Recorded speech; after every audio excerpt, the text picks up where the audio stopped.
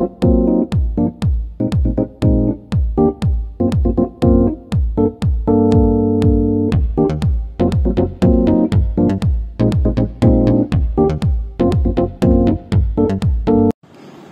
I am using a brown sheet to make the pages of the diary and first I will fold it into half and then I'll fold it two more times to make the equal length pages.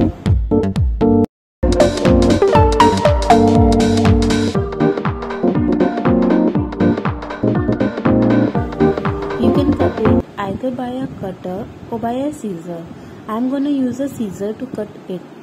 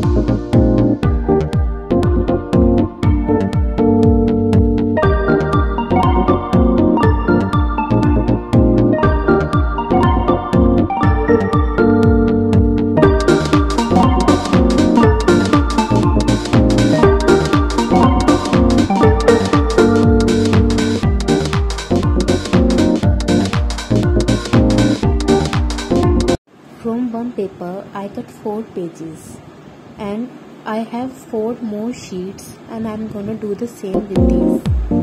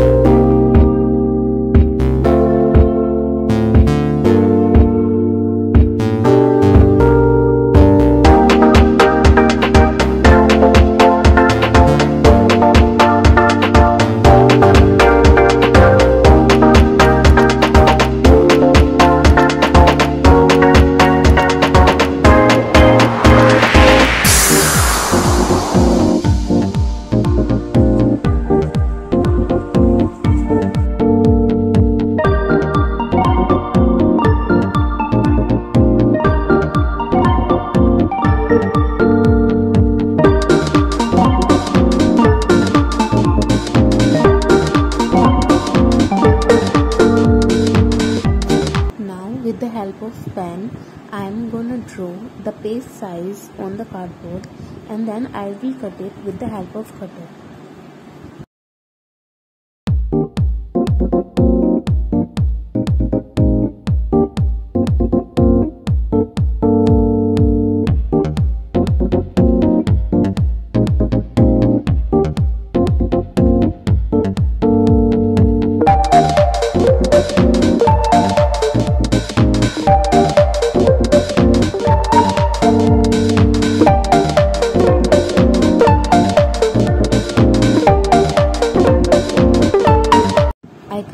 Cardboard pieces of same size to make the back and front cover.